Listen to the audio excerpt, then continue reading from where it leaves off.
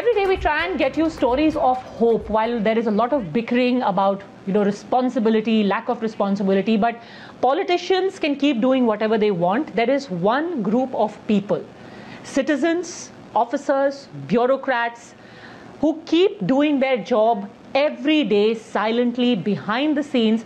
And today on the news hour agenda i want to thank and salute one subset of these very very hardworking people the women the women bureaucrats, the women officers, and countless such stories are coming from across the country of policemen who get their babies to the police station because they have to be on duty. Remember, across the country, because of uh, increased patrolling, many hotspots have been sealed. The police needs to be on the job. All leaves have to be cancelled.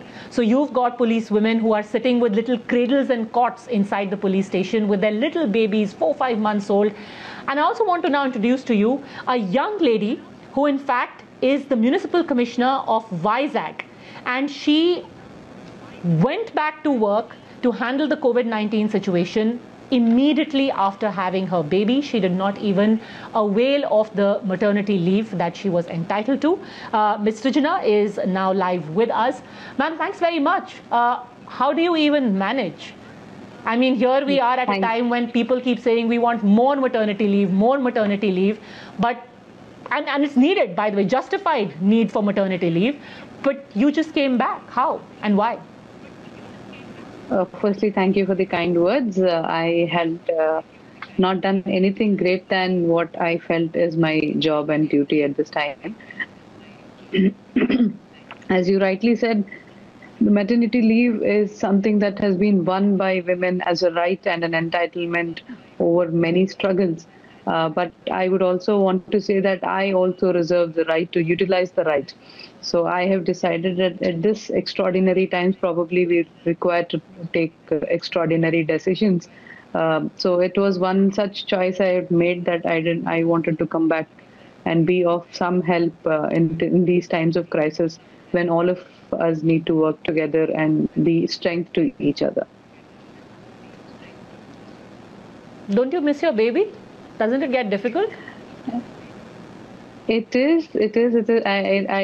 It wouldn't be true if I say I don't miss her. I don't feel sad leaving the baby behind.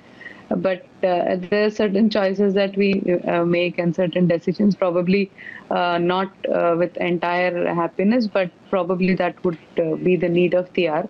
So it's a difficult call that I had taken. I'm not uh, running away from my responsibility of taking care of the baby, but I'm trying to balance both my work and life um, uh, and trying to be responsible on both fronts.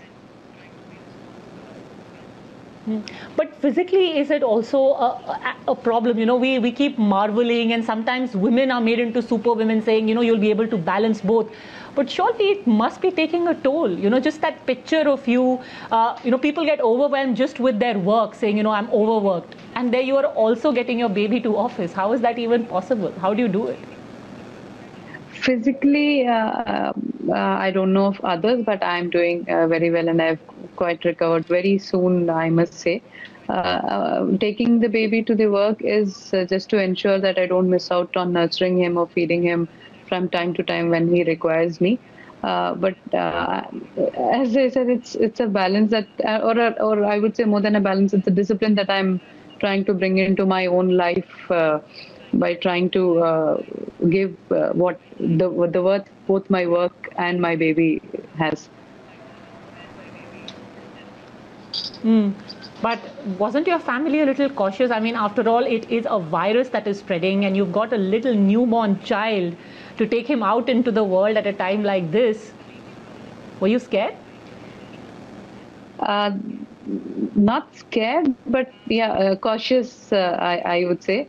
I I don't know. Scared, uh, being uh, fearful is not the right thing to do now. We we need to be of hope and strength to each other, and need to instill that kind of confidence that yes, we could fight this virus together. So I wouldn't say fear, caution, and yes, absolutely uh, the maintaining of physical distance and trying to sanitize my surroundings, being more careful than normal. Uh, uh, because I need I, I need to be more cautious cautious about handling my baby after coming back. So there is a lot of conscious uh, way of handling things, uh, which was probably not normal earlier, uh, but there is no fear. Ma'am, thanks very much for uh, doing what you're doing, and I wish you the very best of luck, and I wish the best of health to you and your baby both. You know, very often we see all of these images coming from foreign parliamentarians, European parliamentarians who are breastfeeding inside their office. We don't need those people to look up to. We've got our heroes right here at home. So, Ms. Srijana, to you and to other women like you who are fighting corona while also nurturing their family and their babies, thank you very much. Thanks for having joined me Thank on the News. Hour Agenda. Please stay safe. I will see you all on Monday at the same time. See you. Yeah.